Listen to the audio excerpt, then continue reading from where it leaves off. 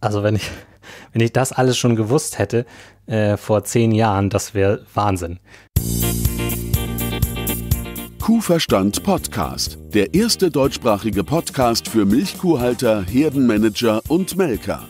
Erhalte Tipps und Impulse auf deinem Weg zu mehr älteren Kühen. Denn sie sind die Grundlage für mehr Gewinn und mehr Lebensqualität. Für dich und dein gesamtes Hofteam. Christian Völkner, der Gründer vom Club der alten Kühe, ist dein Pfadfinder auf deinem Weg zu gesünderen Kühen. Er arbeitet auf führenden Milchkuhbetrieben und berichtet von seinen Erkenntnissen. Los geht's! Hallo und herzlich willkommen zu dieser Podcast-Folge. Was ist der Club der alten Kühe? Darum soll es in dieser Folge gehen. Und zwar ist es etwas Besonderes. Ich nehme die Folge nämlich erneut auf. Ich habe die schon mal Ende 2018 aufgenommen und nun nehme ich sie wieder auf im April 2021. Denn es hat sich einiges getan im Club und deswegen mache ich sozusagen ein Remake. Und äh, wenn du das jetzt hörst, ist das die aktualisierte Folge zu dem Thema. Was ist der Club der alten Kühe? Da möchte ich mal eine Rückmeldung, eine Rezension von Jan Köhler aus Sachsen vorlesen. Er ist Betriebsleiter bei der Luchbergmilch mit 500 Kühen. Ich bin Mitglied im Club der alten Kühe, weil diese Art der Weiterbildung für mich sehr interessant ist. Der Club hat sich für mich zu einer Informations- und Austauschplattform entwickelt, auf welcher ich meine Fragen direkt stellen kann und alle gemeinsam versuchen, diese Fragen zu beantworten.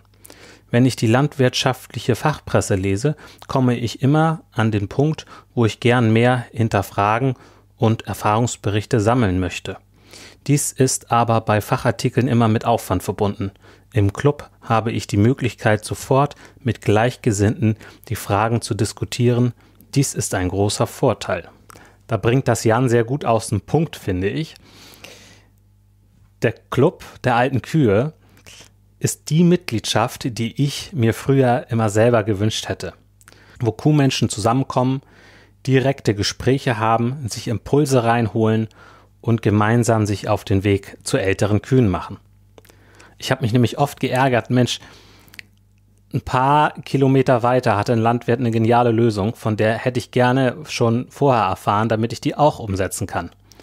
Ne? Und einfach mit engagierten Landwirten im Gespräch zu sein und voranzugehen, das, ähm, ja, das macht auch richtig Laune.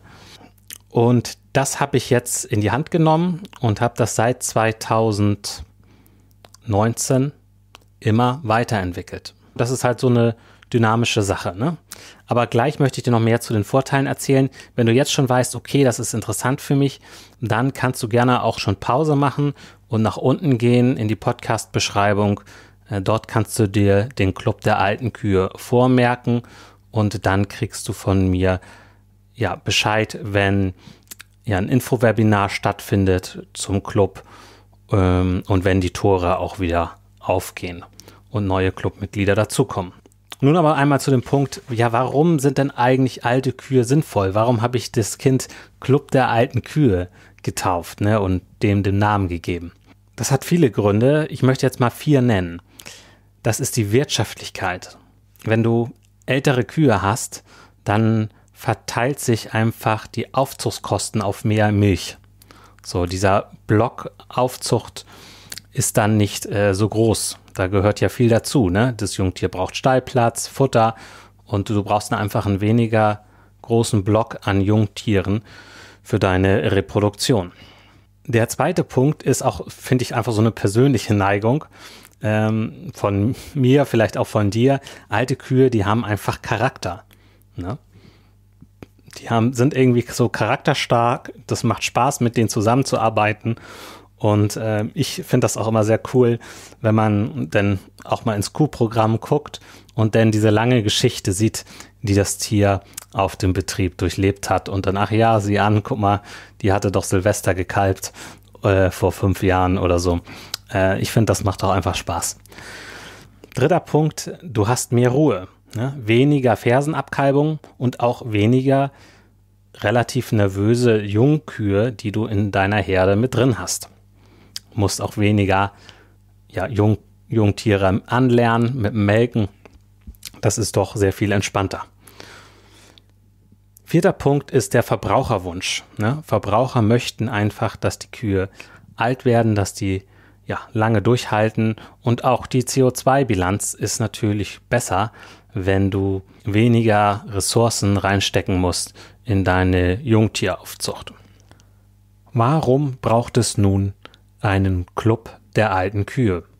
Um zu alten Kühen zu gelangen, ist es ein langer Weg. Das passiert nicht von heute auf morgen. Gerade wenn wir über Zuchtthemen sprechen, dann braucht es einfach seine Zeit, äh, um da weiterzukommen. Aber auch so, es ist ein hochkomplexes Feld. Da greift ein Zahnrad in das andere, da spielen viele Dinge zusammen und da ist manchmal Sand im Getriebe und das ist nicht einfach, da voranzukommen.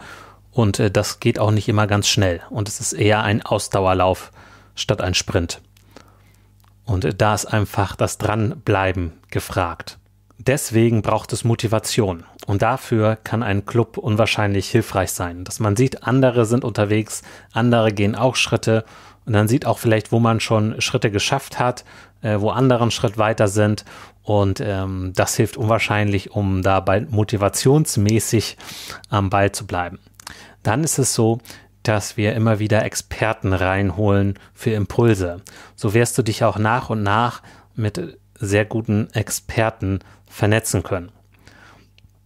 Gleichzeitig gibt es super Austausch für Kuhmenschen, die mehr wollen.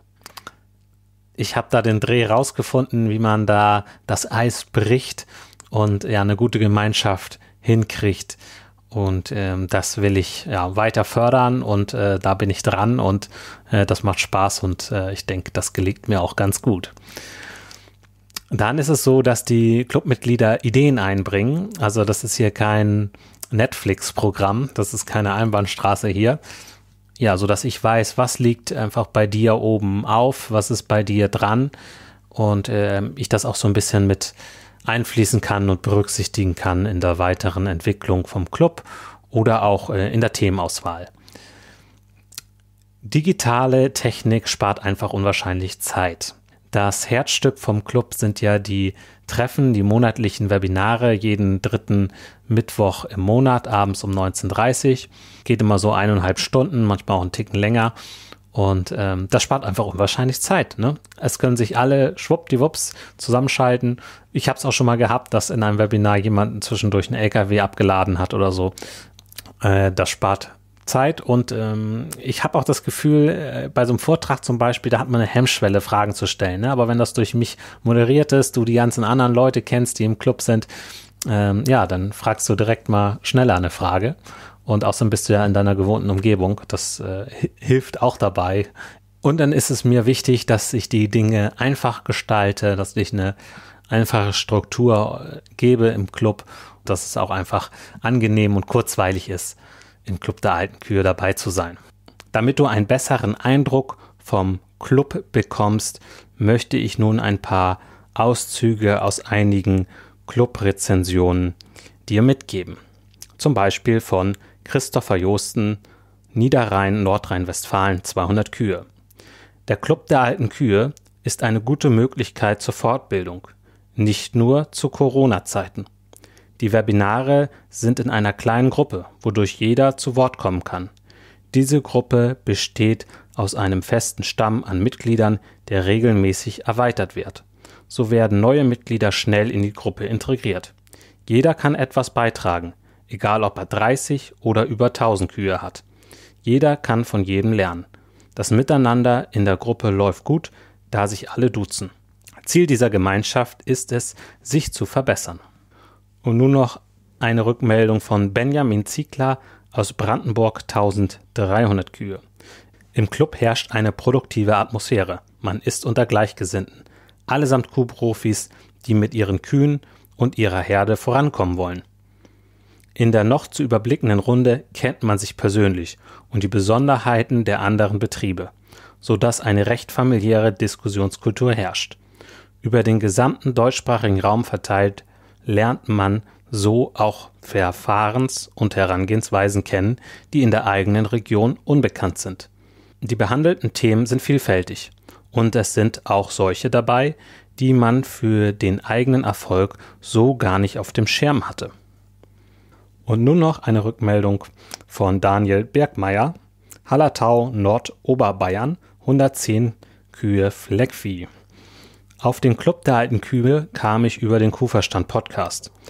Ich fragte mich, kann man sich online wirklich austauschen? Erfahre ich hier Neues? Bringt dieses Format mich weiter? Ist es das wert? Und ja, man kann sich online sehr gut austauschen. Gerade durch die Technik ist es möglich, sich mit Berufskollegen aus dem ganzen deutschsprachigen Raum auszutauschen und das ist wahnsinnig inspirierend. Wie organisiert ein Lohnbetrieb das Melken? Wie werden die Kälber getränkt gehalten? Durch den ehrlichen Austausch untereinander konnte ich schon viele Anregungen mitnehmen. Die Themen und die Referenten sind sehr abwechslungsreich und informativ. Aber besonders motivierend sind für mich die kleinen Ziele, die wir uns jedes Mal setzen. Damit setze ich geplante Projekte und Maßnahmen viel schneller um. Ich bin fest davon überzeugt, dass mich der Club der alten Kühe meinem Ziel von langlebigen, gesunden Kühen ein großes Stück näher bringt. So, das waren jetzt ein paar Rückmeldungen. Mir macht das Riesenspaß, Kuhmenschen voranzubringen, Kuhmenschen zu vernetzen. Ich bin immer wieder auf der Suche nach ja, inspirierenden Kuhmenschen und lerne gerne aus der Praxis, komme dadurch viel rum, nutze den Podcast, bin auch schon viel rumgefahren zu Berufskollegen, wo ich dann keine Podcast-Folge aufgenommen habe, wo ich einfach nur war zur eigenen Weiterbildung. Und also wenn ich, wenn ich das alles schon gewusst hätte äh, vor zehn Jahren, das wäre Wahnsinn gewesen. Also was ich jetzt in den letzten Jahren durch den ganzen Podcast und den Club schon alles lernen durfte, richtig gut. Und äh, das wird so weitergehen. Und wenn du willst, kannst du hautnah dabei sein im Club der alten Kühe. Wenn du sagst, hm, das könnte was für mich sein, ich möchte gerne mehr Informationen, dann solltest du das Schnupperwebinar nicht verpassen.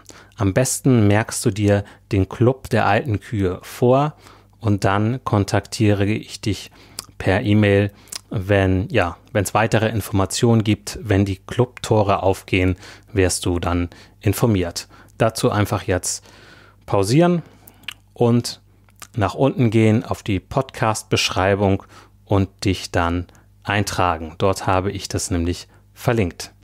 Und vielleicht sehen wir uns ja dann demnächst im Club der alten Kühe. Hab viel Spaß mit deinen Kühen und genieße das Leben. Dein Christian Völkner.